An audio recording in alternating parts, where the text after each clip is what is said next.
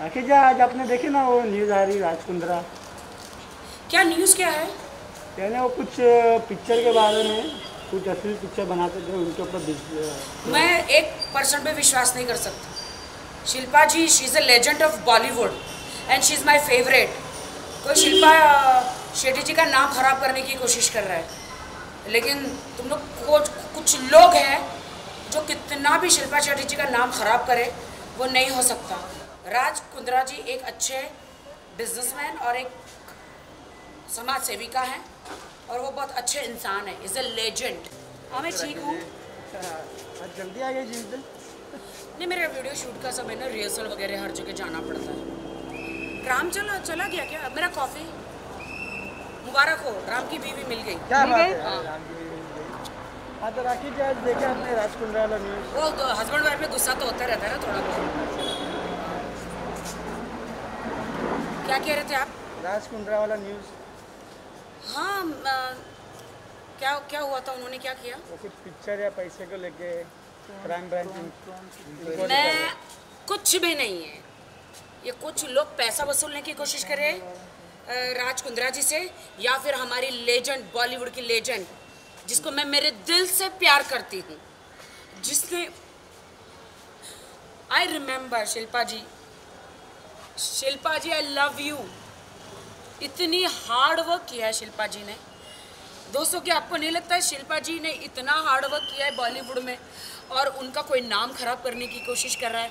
उनको एक अच्छी ज़िंदगी नहीं जीने दे रहा है। और ऐसे उनका उनकी फैमिली में कोई दखल अंदाजी करके उनके उन, उनको उनको बदनाम करने की कोशिश कर रहा है। मैं मान ही नहीं सकती कि राज कुंद्रा जी ने ऐसा कुछ भी किया होगा।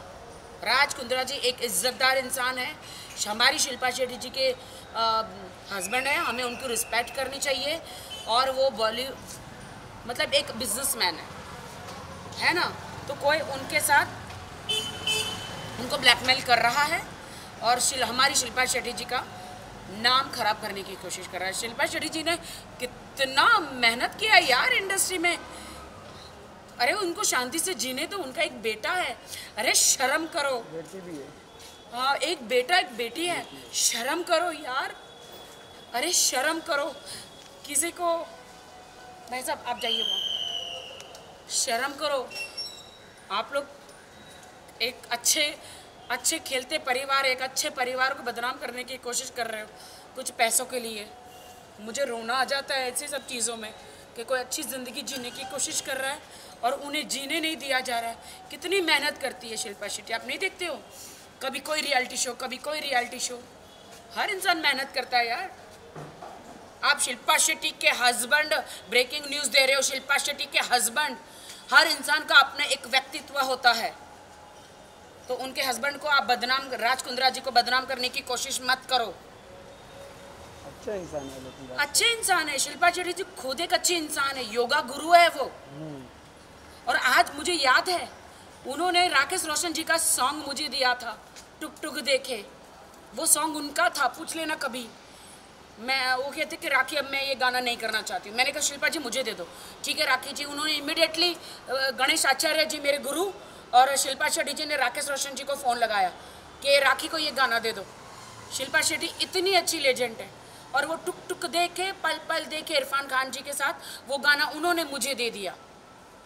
यार, अच्छे, ऐसे इंसानों के लिए यार मैं तो अपनी जान भी दे सकती हूँ। मत करो यार, जियो और जीने दो। जियो और जीने दो लोगों को। हर इंसान ये कोरोना से बाहर आया नहीं है और आप लोग ऐसा करते हो?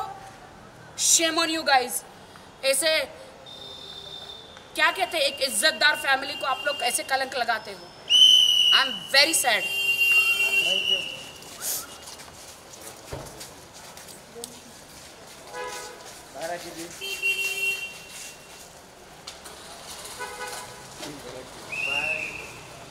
भाई वो डिलीट कर देना हाँ वो डिलीट किया पक्का पक्का